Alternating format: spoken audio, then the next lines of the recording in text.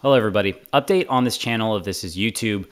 I'm going to be moving away from YouTube and I'm going to be getting onto a platform called Rokfin. Now, I'm still going to be posting videos on YouTube, uh, but more of my long term investigative interpersonal stuff, higher quality stuff, you could say, is going to be on Rokfin. Now, I would recommend you guys go on a Rokfin as well if you guys are interested in news, politics, and a lot of fun stuff. YouTube cut all recommendations to my channel by at least 70%. They said 70%, but they had more censorship um, censorship policies since they had sent me an email telling me that this is what they're going to do. The reason why they said they're doing this to me is because I'm considered independent media and are therefore unreliable despite the fact that I post all my sources in description box of literally every single video.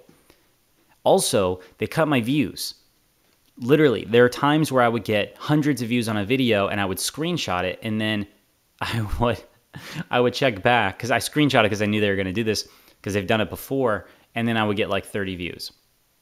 They also increase the standards for monetization. So this means that like a lot of the the the camera equipment you know that you have your microphone. On top of the camera you have the microphone here. You have the laptop that can even edit videos. You have the camera the tripod. You have this little gimbal that you can swivel around with. You have the editing system. All these things are things that i'm just paying out of pocket which is fine with me. That's okay.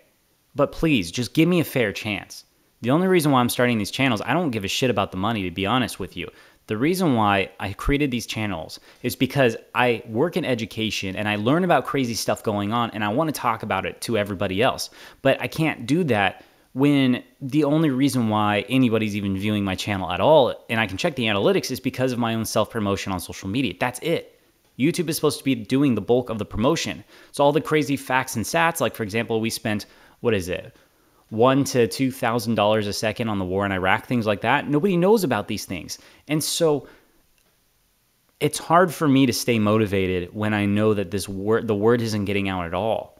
And so I already talked to Rokfin. I talked to the head, their CEO, actually. Cool guy.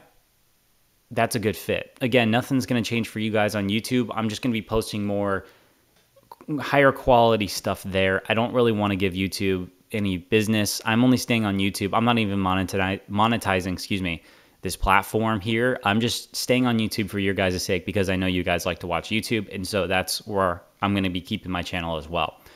But anyway, if you'd like to go on a Rokfin, I would really appreciate it. I'm donating my first $100 to charity. Uh, it's in the description box of this video. This is YouTube. But anyway, I just want to say a big thank you to all you guys because if it wasn't for your guys' like support, I literally wouldn't I wouldn't be doing this right now. So, anyway, thank you.